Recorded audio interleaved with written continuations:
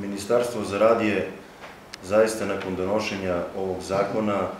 vrlo agilno krenulo u primjenjivanje istog. Mi smo ranije u nekom periodu zaista nalazili na velike probleme, pre svega, pa eto, sad je građevina aktualna, veliki broj ljudi koji se bavio molerajem, krečenjem, sređivanjem fasada je bio neregistrovan i bukvalno 90%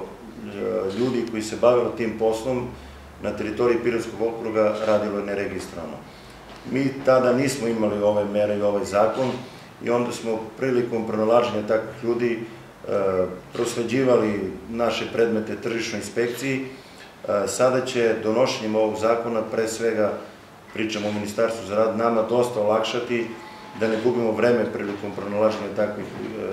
angažovanja takvih subjekata i kažem, mi smo dosta agilno krenuli primjenjivanje ovog zakona, samo inspekcija rada u Pirotu je u prošlom mesecu pronašla desetak subjekata koji se bave izradom fasada, automehaničara, stolarskih radnji. Ja zaista nisam ni znao da ima toliko neregistrovanih subjekata, sada evo susrećemo se sa tim i mislim da ćemo nekim angažovanjem svih nas i uz pomoć vas uspeti da objasnimo ljudima da moraju da registruju svoje radnje, da moraju da se plaćaju obaveze prema državi i nadovezao bi se na to što je načnik rekao, mi nećemo u početku primenjivati restriktivne mere, ali možda treba reći to da su kazne koje su propisane zakonom od 200.000 dinara do 2 miliona. Zaista mislim da je svakome, pre svega i zbog samog sebe, bitno da registruje radnju, da plaća sebi doprinose i poreze državi, nego da plaća tako visoke kazne.